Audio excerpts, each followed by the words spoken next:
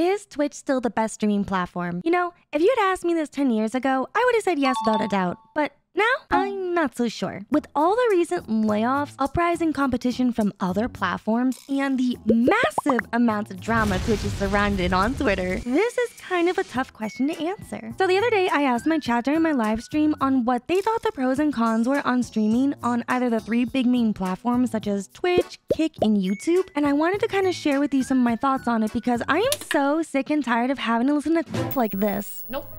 Why would I compromise my morals and ethics for more money when I have money? Something about that is so cringe. Like, seriously, Pokimane? Your morals? You, uh, you really want to go there right now? Didn't think so. Something about that is so cringe. Alright, with that being said, grab a snack from today's sponsor, Tokyo Treat, and let's start off with Twitch. Let's talk about the pros on Twitch. So, what do we love about Twitch? Anyone? Huh? Hello? Okay, Chad, don't worry. I will hold your hand in this entire thingy. Alright, pros about Twitch. Let's go. It has very easy moderation. Twitch's moderation is not perfect, but it's easy. Ban someone, time someone out, delete their message. It's super easy to use. Chat integration. Ah, yeah. Don't make fun of my spelling. We can have hot tub streams. Oh, yeah, that's a pro. You're right. Oh, yeah, it is. I love watching my favorite streamer in a hot tub getting squeaky clean for me in that bath water that she's been sitting in for eight hours. Ah, pruny skin. That's it? That's all you guys have? Okay. Um, so right off the bat, my chat not only expose themselves in 1080p on uh what they like to watch on the weekends, but if you think about it, Twitch does allow a lot of different content on its platform, which is funny because Twitch used to be strictly a gaming only live streaming website. Shout out to anyone who still remembers this when this used to be called Justin TV. You feeling old yet? Anyways, yeah, Twitch allows a lot of different content on its platform, for better or for worse, because it makes money. Twitch used to be a website that would bleed purple, but now it's bleeding red, which means Twitch isn't making any money to sustain itself, so now it's kind of loosened up a lot of the restrictions on what is and isn't allowed on the website, and in some sense, that's a good thing. We can have art streams, IRL experiences, and connect with our viewers in ways that I don't think Jeff Bezos could have ever predicted like 10 years ago, and that's not the only pros on Twitch. Because Twitch is owned by Amazon, and if you have Amazon Prime, then you can get a free subscription on any of your favorite streamers' channel, which means you won't have to deal with seeing ads, and a portion of that money will support that streamer. But I'll get more into that in just a bit. So, um, Twitch is very community focused. You know, they have channel points, VIP and loyalty badges. They encourage gifting subs and donating bits, and they have like these cool little hype trains every time someone does that. And you can rate other streamers incredibly easily. You literally just gotta type in their name and it's so straightforward. I think everyone can agree that Twitch has the best chat integrations that makes it very easy for streamers to feel closer to their communities and interact with them in real time, especially for small streamers where that's super important. Now, with that being said, remember how I said Twitch is just bleeding red from all the money they're losing? Well, in order to have all these amazing chat features, integrations, and just stuff to keep the server alive, Twitch needs to make money, right? And instead of utilizing resources from Daddy Amazon or implementing smart marketing and business chats to help raise money, this is what Twitch decides to do instead. Let's talk about the problems with Twitch. Let's, um, cons. Not anime cons, cons, bad, stinky poo poo things, okay? I love how everyone's first con is just the ads. Everyone can consciously say the ads. The ads are some of the most intrusive, annoying little things that I have ever experienced on stream. Like, I haven't seen this many annoying ads since cable. Becoming a subscriber on a channel only stops ads for that streamer. So for example, being subscribed doesn't always get rid of ads. If the streamer manually puts ads on the channel, then sorry, but you're still gonna see ads even if you're subscribed. Because, you know, Twitch is actively trying to incentivize streamers to do that. One of my biggest gripes against Twitch is that there is this constant pressure to have to always stream. Always, because when you are not streaming, your channel is dead. You're not making any money. I'm like, I don't know. I just don't like how there is so much pressure to bring other people to your platform. You have to really grind to form a community and convince someone to go on Twitch to want to watch your streams. I used to really love Twitch and would have so much fun going to TwitchCon and making new friends, and I miss feeling like I was actually a part of a community. Now it just feels like no matter what I do, my community is gonna have to sit through a bunch of unskippable ads, and the fact that Twitch takes such a high cut of my money from my subs, donos, and bits, it just feels like I could never make a living by being a Twitch streamer, so why should I stay on here? Like, sure, I get 50% from my subs, but that's about $2.50 that I now have to save 30% of that for taxes. So in reality, I'm only making like a dollar from every sub, and that's not a livable wage for me to want to continue to stream on Twitch. I care a lot about my Twitch viewers, which is why I've strongly encouraged them to subscribe to my YouTube channel or to follow me on Kick, where they don't have to deal with the ads, and overall, they can feel relieved knowing that I'm actually getting the money they donated. So if you're watching this and you're a streamer and this is what you truly want to do full time, then I suggest you think carefully about where you want to put the most of your time and energy into content creation. Okay, I'm kind of done talking about Twitch. If you want to see me go more in depth, then either check out my live stream or my second channel where I did a much longer edited version compared to three different platforms. Because now I'm ready talk about YouTube since, yeah, you can actually live stream on YouTube, Baka.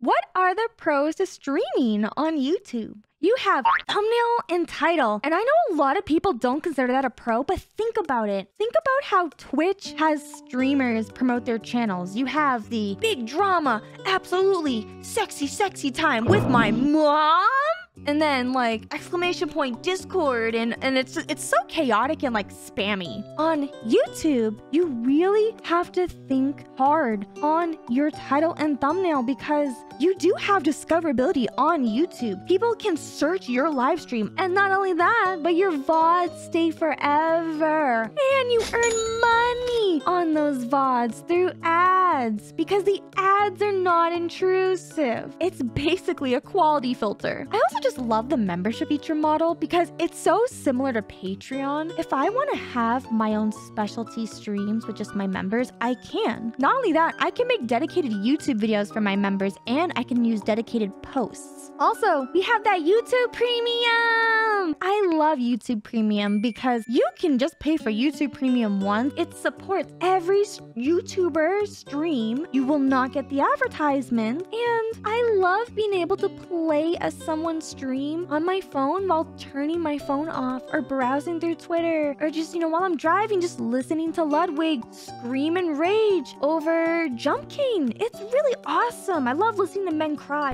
It's my favorite pastime. So I'm not a stalker. I am obsessive. There's a difference. Anyways, overall, YouTube does an amazing job at giving its creators a variety of different ways to monetize their content. Honestly, I don't understand why Twitch doesn't utilize their clips and VOD better. They clearly have no problem copying, er, I mean, inspiring similar monetization avenues from YouTube or other streaming services. So why not make your platform more discoverable and implement better ways for your creators to make more money on the platform that doesn't sacrifice the viewer experience and it doesn't cause predatory or massive strain on the streamer to keep your streaming platform alive. Let's face it, without us, none of these platforms would even be able to exist anymore. With all of that being said, YouTube is not perfect by any means. YouTube does have a lot of cons. So, we already know what the first con is. My poor chat. Like, come on, YouTube. It's not pretty, it's laggy. It doesn't feel good. It feels icky sticky. Mari doesn't like her chat. That's not true. I do. I like you, you, all of you. I like all of you. Seriously, YouTube, please. Do what Kick did. Steal Twitch's code and just make the chat better. Streaming is an afterthought on YouTube because it is a video consuming media platform. Also, YouTube has a very strict DMCA and there is a broken false copyright claim system in place. But what I will say about YouTube is that it actually has a decent sub split 70 30. Could be better still. It's not like Google is drowning in like debt and that they need the money that badly, but it is better than 50 50. So there is that. Although, the one thing that's really annoying about YouTube is that you don't see that money for like an entire month after everything's processing. And not only that, but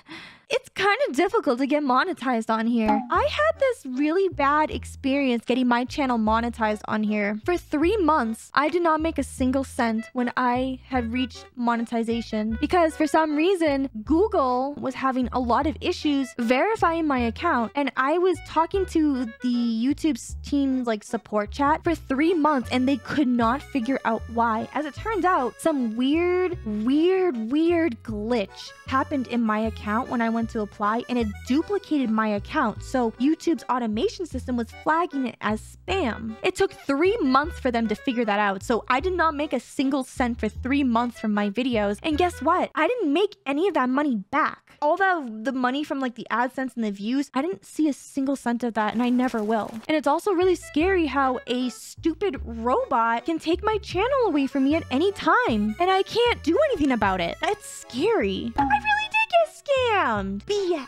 So what about Kick? Ew. Your first comment about Kick is ew? What's Kick? Open your mouth. I'll show you what a Kick is. I've been a Twitch streamer for about six years, and I started this YouTube channel three years ago, so I wasn't really around when Twitch was Justin TV, but I do remember some of the earlier days on Twitch, and for some reason, Kick just reminds me of the very early days on Twitch, where it was kind of like the Wild West of streaming. Basically, everyone's memeing on Kick saying it's the green Twitch because the UI is similar. Honestly, I don't see anything wrong with that. I think um, competition is very healthy because it stops monopolies and it encourages other platforms to treat their creators better or else they'll lose them. Higher subsplit, the 95 to 5. And again, that's to very specifically take a dig out at Twitch and YouTube because YouTube was 70 30. And hey, look, there's no ads unless if you're in the gambling section. It's also just a brand new shiny platform which encourages exposure because it's uncharted territories, meaning that, mm, you know, you could blow up. How do you think Pokimane and XQC and Tyler One and uh, Jerma and Moist Critical, Asmongold, how do you think they all blew up. They were first on Twitch. Some of them were even there when there was Justin TV. Kick is new. You could be first. Being first is so important as a content creator. Also, Kick encourages multi-streaming. In fact, they have a dedicated Restream plugin that you can connect your Restream account. I've been seeing everyone saying that Kick is going to fail like Mixer and Burnout because how can they possibly keep up with the business model like that? How can they possibly afford a 95 to 5 split, a 15 an hour pay, and then giving XQC that bazillion gajillion contract, which by the way, XQC, hey yo, if you like anime cat women and want to become a VTuber, I have videos on it. Yubaka. Stop using the VTuber tag. Anyways, Kick is able to do all of this because they are affiliated with gambling and like they have money. They're not going to run out of money. Cringe. Let's talk about the cons on Kick. First of all, why did you name it Kick? Why? What's wrong with you? Why did you name the website Kick? You know there is an app called Kick, right? K I K, the messaging app. When I Google Kick, that is the first thing that pops up, not your website. I have to type in Kick streaming to get the website. Not only that, but gambling. I think it's a valid reason to not want to stream on Kick because of gambling. But as stated before, you only get gambling ads in the gambling section of Kick. Also, a little side note about the gambling part. While I was editing this video and trying not to unalive from this cold, Kick announced that you can toggle off gambling and other streaming content that you don't want to see on their platform. And they doubled down on their 95-5 split saying they're not going to be changing that. This is a very big power move that literally makes all these arguments about gambling kind of invalid. So like, what else can we say about Kick? Kick is green. Green is money. Green, green, green, green, green. K looks like Minecraft sword. Children like pink. Children go on Kick. That's why Kick is green because it's meant to subconsciously tell you that you're gonna make money because green is related to money. Children like Minecraft, so they get the children on the website, and then the children are gonna want to watch the gambling stuff. Gamble with the loot boxes sorry. I like to go on a lot of tangents sometimes on stream. Not as bad as Charlie, but this tends to happen a lot when I drink chalky milk.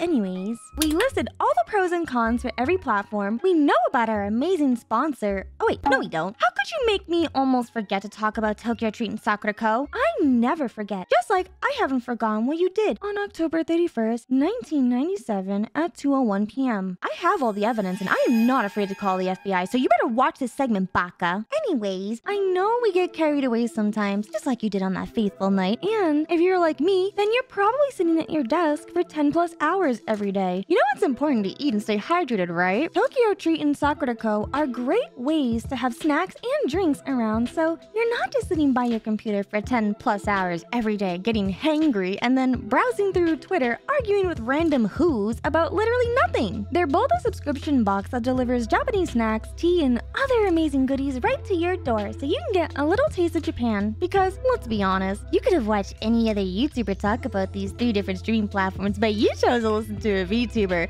which means you're a weeb, and weebs like Japanese snacks. Duh! Like, look at this! This month's theme for Tokyo Treat is Okinawa's Seaside Snackin'. Okay, don't judge, but I got kind of excited over this month's Kit Kats, and I accidentally ate all of them before I could record this video. Like, seriously, what'd you expect? Cookies and cream are my favorite flavor. You're lucky I held off from eating the rest of the snacks in this box so I could record it for you. And the same went for Sakura Co, but Sakura Co is a little bit different since they focus on traditional Japanese snacks made from local Japanese businesses. So every Sakura Co box you buy supports them and you get a cool tableware item. This month's theme for Sakura Co is the heritage of Nikko, and the special monthly tableware item is going to be some patchwork furoshiki, which is essentially like a traditional Japanese wrapping cloth. You can use as like a handkerchief, a fashionable bandana, or you can actually wrap it around a cool little bento box. As nice as it is to have the newest trendy snacks from Tokyo Treat, I personally really like Sakura Co because they give you tea, and if you know anything about me, I am very big on drinking tea. I like boba tea, drama tea on Twitter, and Sakura Co tea because it keeps me hydrated sipping on all of the seething comments I'm probably going to get after making this video. So thank you to Tokyo Treat and Sakura Co for keeping me fed on snackies this month and letting me try those amazing Kit Kats like oh my I'm sure you're probably wondering, Mari, you focused a lot about money on this video, you money grubbing cat. And uh, yeah, because let's be honest here. The majority of people who are going to be watching this video are streamers who most likely want to turn this stream into more than just a hobby. And how do you do that? Huh? With money, duh, baka. And besides, that's what started this whole argument between these big streamers anyways. Money! Literally, XQC gets a big million bazillions of dollars in his contract to stream on Kick, and that had to have struck a nerve in Pokimane because they didn't get offered that. Literally, none of them had a single thing to say about the platform for months until this contract dropped. And honestly, something about that is just so cringe. It more or less comes down to how you feel knowing that the company is backed up by a gambling company, which is it any better than Amazon? Amazon, the company that doesn't give any of their workers any benefit. Oh yeah, we'll give you like these like benefits, sure, but you have to work insane amount of hours and be treated poorly for your special two prime day shipping. Like, is it really any better? Is that where your morals lie? Do you support children endangerment? Cringe. Like, come on, be honest with yourself. What's the real reason why you don't want to stream on Kick? It's because you don't like change. That's what this is all about. Gambling is just a, aha, I have a reason to pin it on something. Yes, gambling is bad. Gambling destroys lives. But don't pretend like you're some like white knight in virtual signaling that that's the reason why. Like, stop, stop joking with yourself. You just want to be liked and, and agree with like the better opinion. That's the only reason why you're saying all that stuff. Because in reality, even if it wasn't affiliated with gambling, you would find some other reason to bitch and moan about it. I can't tell if I'm getting delirious from being sick or if all this fighting and arguing over Twitch this and Kick that is just starting to like, you don't need to worry about these other big streamers and their morals argument clouding your judgment on where and how you want to earn your bread. I just think that this whole argument is so ridiculous and I wanted to upload this video sooner, but as you can tell, I'm not feeling very good. And also, Goal, beat me to it. And he literally said all the things I want to say in this video, even though my live stream came out way before his video did. I talked about the exact same thing. But he does make a very good point in his video where it basically all comes down to this. What are your main goals for streaming? Is it to make friends and build a small little community for yourself? Then stream on Twitch. Is your goals for streaming to build a business and a brand while growing an audience? Then stream on YouTube and make video content. Or is your goal for streaming to try to get as big as possible, make as much money as possible, and have a better chance at more exposure because you were first? Then stream on Kick. Nobody is better than anyone else for where they choose to stream. And honestly, maybe it's a good thing that Elon is limiting people's Twitter use because if this is where streamers are gonna go and waste the majority of their time on instead of, you know, making good content, then I don't know, do something more productive, I guess. Like, I don't know, I don't feel so good. So I'm gonna go back to bed. Thanks for watching. And remember, everything reminds you of something. Bye!